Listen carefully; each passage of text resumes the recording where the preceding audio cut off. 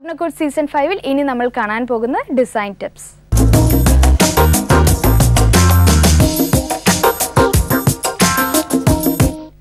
ഇന്നത്തെ ഡിസൈൻ ടിപ്സിൽ നമ്മൾ പരിഗണിക്കാൻ പോകുന്നത് ഫ്ലോറിങ്ങിനെ കുറിച്ചാണ്.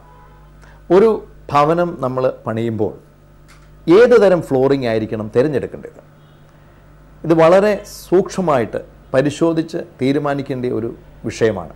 കാരണം നമ്മൾ തിരഞ്ഞെടുക്കുന്ന ഫ്ലോറിംഗ് അതനുസൃതമായിരിക്കും നമ്മുടെ വീടിന്റെ ക്യാരക്ടർ ഭവനത്തിന്റെ ക്യാരക്ടർ ഉദാഹരണത്തിന് വിട്രിഫൈഡ് ടൈൽ പല രീതിയിലുള്ള വിട്രിഫൈഡ് ടൈലുണ്ട് അത് ഗ്ലോസി ആയിട്ടുള്ളതുണ്ട്. മാറ്റ് ഫിനിഷ് അല്ലെങ്കിൽ സാറ്റിൻ ഫിനിഷ് ഉണ്ട്. റസ്റ്റിക് ഫിനിഷ് ഉണ്ട്. വിട്രിഫൈ ഇതിന്റെ വിലയെല്ലാം ഒന്നായിരിക്കും. പക്ഷേ നമ്മളിത് ഏതാണ് തിരഞ്ഞെടുക്കുന്നത് അനുസരിച്ചായിരിക്കും നമ്മുടെ ഭവനത്തിന്റെ ക്യാരക്ടർ ഒരു ഫീൽ ഈ നമ്മുടെ ഭവനത്തിനുണ്ടാകുന്നത്. അല്ലെങ്കിൽ വിട്രിഫൈഡ് ടൈലിന് പകരം നമ്മളൊരു വുഡൻ ഫ്ലോറിംഗ് ഉപയോഗിച്ചാൽ അതിന്റെ അത് തരുന്ന ഒരു ഫീൽ ഒരു ക്യാരക്ടർ വ്യത്യാസമായിരിക്കും.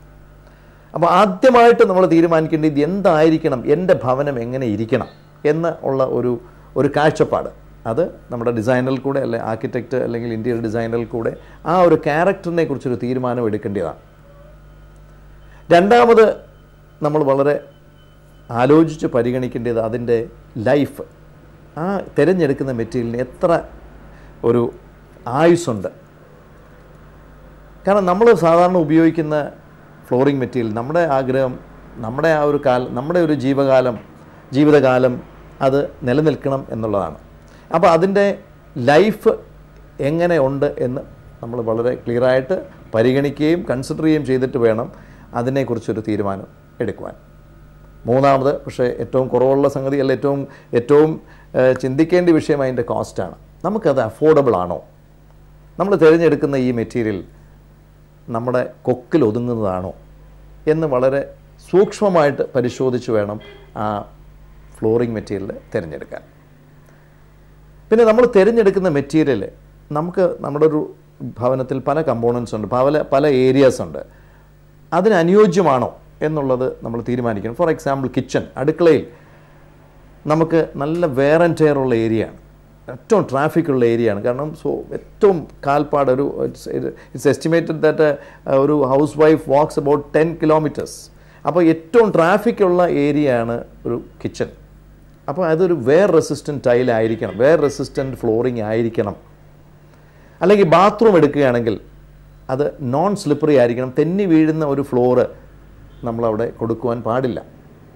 അല്ലെങ്കിൽ വരാന്തസ് അല്ലെങ്കിൽ ബാൽക്കണീസ്. അവിടെ എന്ത് തരം ടൈലായിരിക്കണം? അവിടെ അവിടെ ട്രാഫിക് ഉണ്ടാവും വരാന്തയിൽ. വെള്ളം വീഴാനുള്ള സാധ്യതയുണ്ട്. അല്ലെങ്കിൽ റൂഫിൽ എടുക്കേണ്ട ടൈൽ.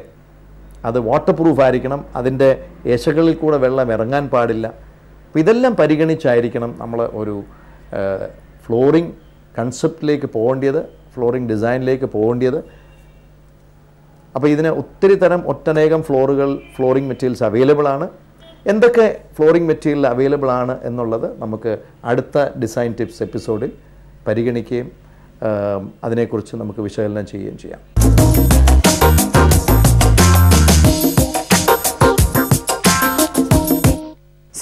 സീസൺ ഫൈവിന്റെ ഇന്നത്തെ എപ്പിസോഡിൽ നമ്മൾ ആദ്യം കണ്ടത് കൊടുങ്ങല്ലൂരുള്ള five thousand square feet Padiyath Puthenkattil house ആണ്. അവിടെ വളരെ മനോഹരമായിട്ടാണ് ആ ഒരു വൈറ്റ് ആൻഡ് ബ്രൗൺ കളർ ടോണിൽ ആ വീട് മെയിന്റെയിൻ ചെയ്തിരിക്കുന്നത്. ഓൾസോ ലേറ്റർ കണ്ട ടിപ്സും എല്ലാവർക്കും ഇഷ്ടപ്പെട്ടു എന്ന് വിശ്വസിക്കുന്നു. സോ നല്ലൊരു ഫൗണ്ടനും അതുപോലെ തന്നെ നമ്മുടെ ട്രഡീഷണൽ ആയിട്ടുള്ള ഫെൻസും ഒക്കെ യൂസ് ചെയ്ത് നല്ലൊരു വീട് നിങ്ങൾക്കും കൺസ്ട്രക്ട് ചെയ്യാൻ സാധിക്കട്ടെ എന്ന് ആശംസിച്ചുകൊണ്ട് ഇന്നത്തെ സ്വപ്നക്കോട്ട് സീസൺ ഫൈവ് ഇവിടെ വൈൻഡ് അപ്പ് ചെയ്യുന്നു.